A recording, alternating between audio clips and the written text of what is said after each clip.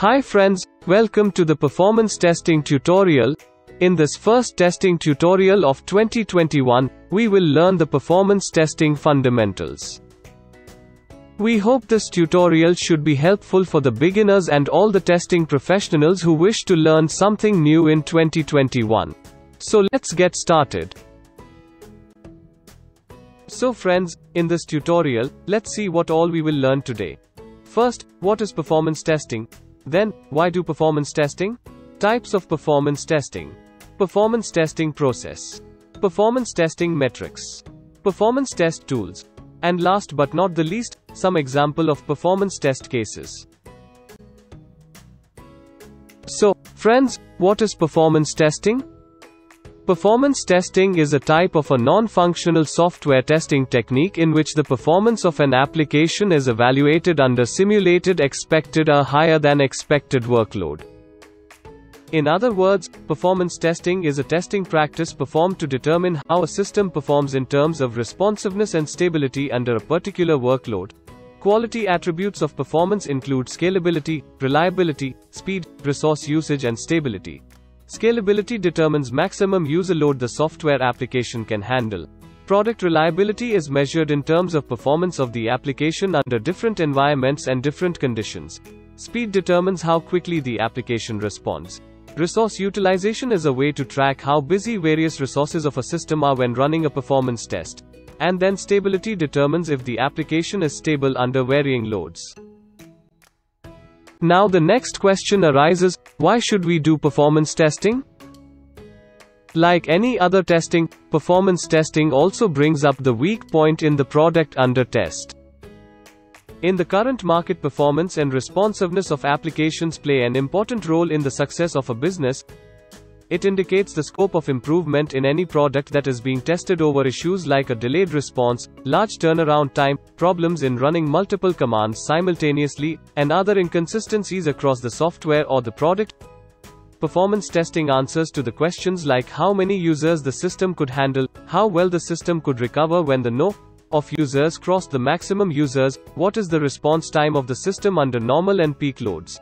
Ultimately, the benefits of performance testing can attain a number of goals, including demonstrating that the system meets performance criteria, comparing two systems to see which performs better or provide measurements of which parts of the system perform badly under a given workload. To understand how software performs on users' systems, different types of performance tests are applied. Let's see the different types of performance testing. So the first is load test. Load testing measures system performance as the workload increases.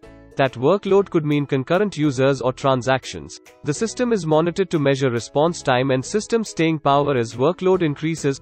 That workload falls within the parameters of normal working conditions. Second is stress test. Unlike load testing, stress testing, also known as fatigue testing, is meant to measure system performance outside of the parameters of normal working conditions, the software is given more users or transactions that can be handled. The goal of stress testing is to measure the software stability. At what point does software fail, and how does the software recover from failure? Third performance testing type is soak test or endurance test. It's an evaluation of how software performs with a normal workload over an extended amount of time. The goal of endurance testing is to check for system problems such as memory leaks. Fourth is the volume testing which determines how efficiently software performs with a large, projected amounts of data. It is also known as flood testing because the test floods the system with data. Fifth is reliability testing or recovery testing, which is performed to verify whether or not the application is able to return back to its normal state after a failure or abnormal behavior, and how long does it take for it to do so. Sixth is capacity testing, which is done to understand if the application capable of meeting business volume under both normal and peak load conditions. Capacity testing is generally done for future prospects. Capacity testing is used to determine how many users or transactions a given web application will support and still meet performance. During this testing, resources such as processor capacity, network bandwidth, memory usage, disk capacity, etc., are considered and altered to meet the goal. Online banking is a perfect example of where capacity testing could play a major role. Seventh type is scalability testing. Scalability testing is used to determine if software is effectively handling increasing workloads. This can be determined by gradually adding to the user load or data volume while monitoring system performance. Also, the workload may stay at the same level while resources such as CPU and memory are changed.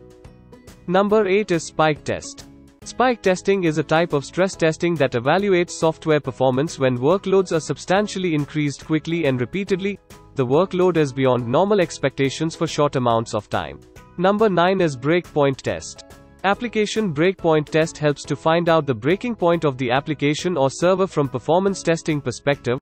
This test is helpful to identify the maximum load bearing capacity of the application.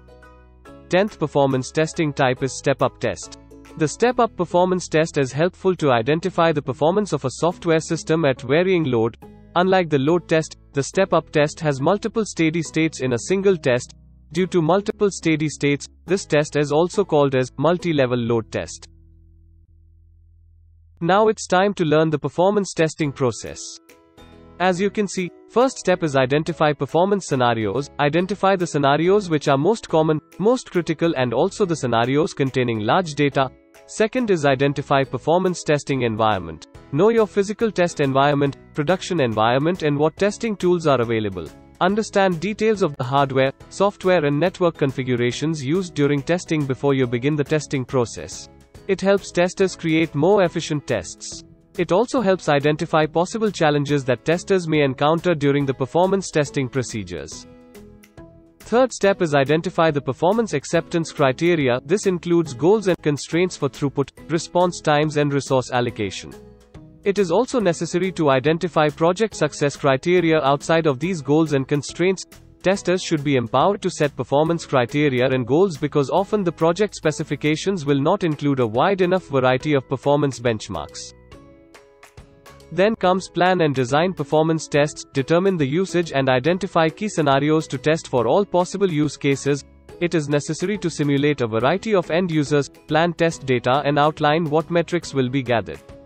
Configuring the test environment is the next step. Prepare the testing environment before execution. Also, arrange tools and other resources. In next step, we distribute the load. Distribute the load according to the usage pattern or mention the duration and stability. Then it's an obvious and the main step of the testing process which is test execution. In this part, we execute and monitor the tests. Lastly, we analyze, fix issues and retest. After executing the test scripts, analyze the test results. The bottleneck could occur because of these aspects like the problem in code, hardware issue network issues, and the software issue.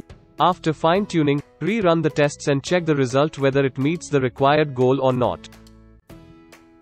A number of performance metrics, or key performance indicators, can help an organization evaluate current performance. Performance metrics commonly include the ones shown on screen. Throughput, how many units of information a system processes over a specified time. Memory, the working storage space available to a processor or workload. Response time, or latency, the amount of time that elapses between a user entered request and the start of a system's response to that request. Wait time, also known as average latency, this tells developers how long it takes to receive the first byte after a request is sent. Peak response time, this is the measurement of the longest amount of time it takes to fulfill a request. Peak response time that is significantly longer than average may indicate an anomaly that will create problems.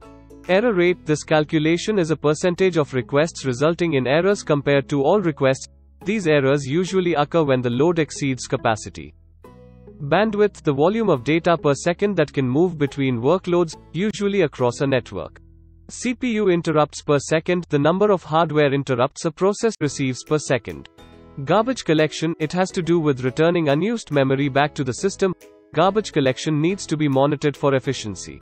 Disk time, amount of time disk is busy executing a read or write request. Thread counts, an application's health can be measured by the no of threads that are running and currently active. Average load time, the average amount of time it takes to deliver every request is a major indicator of quality from a user's perspective. These metrics and others help an organization perform multiple types of performance tests. Performance testing tools are of two types, open source tools and licensed tools. Some of the popular performance testing tools are as shown here. 1. Apache JMeter. 2. LoadRunner. 3. WebLoad. 4. Load Ninja. 5. Smart Meter. 6. Load UI Pro. 7. NeoLoad. 8. Silk Performer. 9. App Loader. 10. Load Complete. It's the time to look at some of the example performance tests. These tests or scenarios should be helpful to understand performance testing in practical. 1. Determining application performance at different loads. How many users can simultaneously work with the application without slowdown? 2. Check whether the application supports a certain number of users. 3. Find the application's crash point. Determine how much load can crash the server application. 4.